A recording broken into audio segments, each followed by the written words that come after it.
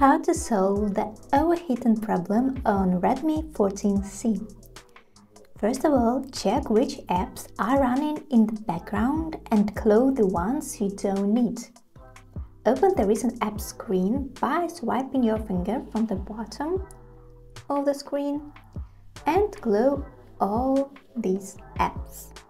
Second, Turn down the screen brightness or turn on automatic brightness control in settings. Then display and brightness. And just decrease the level of brightness and put automatic brightness. This will help reduce the heat generated by the screen. Also, you can turn off unused features such as Wi-Fi, Bluetooth, hotspot, when you don't need them. If you are in an area with full coverage, turn on airplane mode to reduce heat from constantly searching for a signal. Also, I would recommend to avoid long gaming sessions.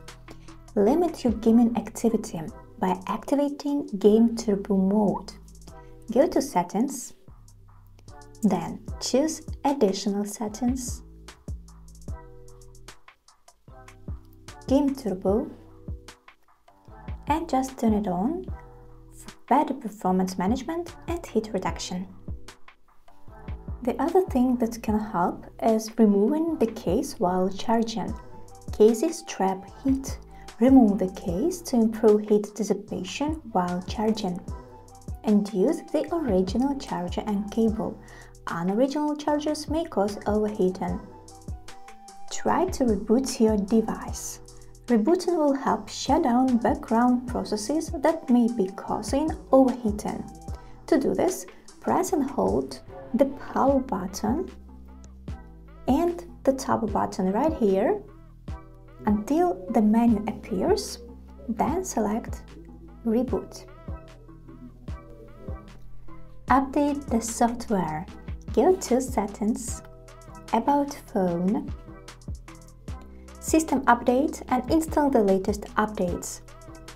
I just got all system updating, that's why I don't have that button, but if you see the button with the word update, just do that and updates often fix bugs and improve performance. The next step can be removing the cached data. You can use a cleaner function on your phone and it will scan all your cache data. You just clean it up and that's it. Then you can check your phone for malware or resources. Scan your phone using Security app. Choose Security Scan your phone will be scanning for some suspicious or resource-intensive apps and if you find it, just uninstall it. As we can see, everything looks good, no viruses, that's great, well done. As an extreme step, perform a device reset. Go to Settings, About Phone, Factory Reset, and choose Erase all data. Then make sure to backup your data before this operation. Hope these tips are helpful for you. Thanks for watching, subscribe to the channel and give it a like.